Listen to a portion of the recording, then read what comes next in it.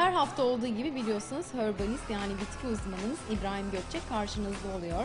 Size bitkiler üzerine, alternatif tıp üzerine çok değerli e, bitkilerle bilgiler veriyor. Ve tabii ki bu haftada yine miyom ve e, sanırım enzimler üzerine konuştuk. Gerçekten çok önemli şeyler söyledi. O zaman İbrahim Gökçek sizlerle. Showmax ekranlarında yine geçen hafta Sayın İbrahim Gökçek herbalist bitki uzmanının anlattığı diyet ve e, kilo almama nasıl kilo verebiliriz kendi e, hazırladığı çayları da sizin ekranlarınıza taşıdık.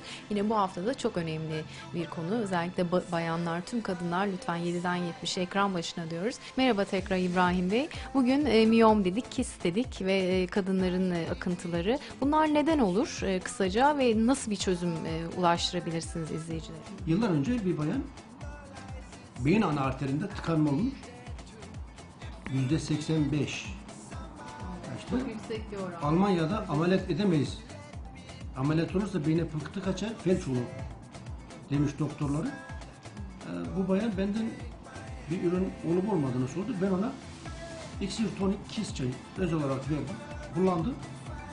Bir ay sonra doktora gittiğinde bu ana arter tamamen açılmış fakat kadın da bu bayanda adet düzensizliği, çok yoğun adet görme hali ortaya çıkmış. Neden olabilir acaba dedim.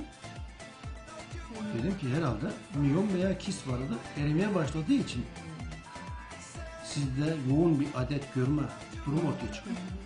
Bu bayan kadın doktoruna gittiğinde 14 yıldır aynı doktora gidiyor. Kadın doktoruna aynı doktor fark etmemiş. Yumurtanın arkasında 3 tane ceviz büyüklüğünde kist. Bu kistlerden birisi hafif erimeye başladığından yoğun adet görmeye başlamış.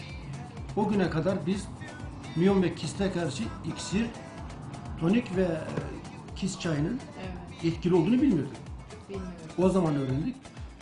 Bu bayan 3 ay devam etti. Kistlerden tamamen kurtuldu. E, Buna ek olarak yani hiçbir yan etkisi yok bu iksirlerin. Halbuki mesela kist olanlarda ki kist hani iyi huylu olarak zaten her vücutta varmış kadınlarda.